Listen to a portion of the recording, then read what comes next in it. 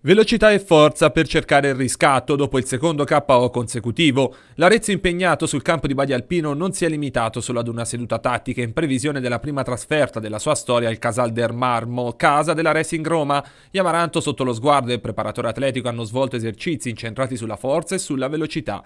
All'appello mancavano Ferrario e Alessio Luciani. All'allenamento non ha preso parte nemmeno Eugenio Durzi, l'esterno ex Aversa Normanna ha seguito da bordo campo il lavoro dei compagni. Durzi si è infatti rimediato un colpo ieri in allenamento e il riposo concessogli è in via del tutto precauzionale. In campo mister Sottili dopo i gradoni ha diviso la squadra in due gruppi, da una parte una formazione incentrata sul 4-3-1-2, dall'altra un 4-4-2, l'abito che l'Arezzo indosserà in occasione della sfida con la formazione di Giuliano Gianni Chedda. Per il ruolo di terzino destro Luigi Luciani sembra in vantaggio su Enrico Bearzotti. Al centro Solini e Barison in attesa del rientro a pieno regime di Ferrario vanno verso la conferma, mentre a sinistra non è escludere escludere il ritorno di Masciangelo.